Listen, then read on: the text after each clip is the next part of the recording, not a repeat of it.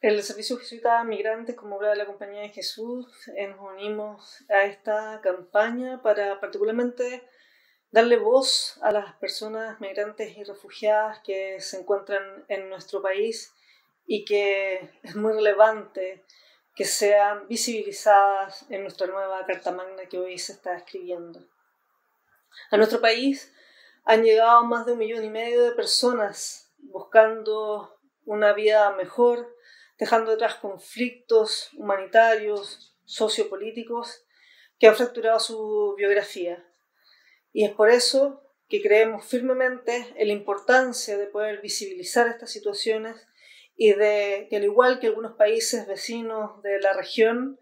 que nuestra Carta Magna pueda considerarlos no desde el punto de vista de la exclusión, la invisibilización, sino que desde un punto de vista de derechos. Desde ahí la invitación es a acoger a las personas migrantes, a que en nuestra Carta Magna puedan ser reconocidos sus derechos fundamentales como cualquiera de nosotros, a que tengan derecho a sufragar, a que puedan los niños tener acceso como cualquier otro niño del país. También al reconocimiento y a la protección del otorgamiento de asilo y refugio.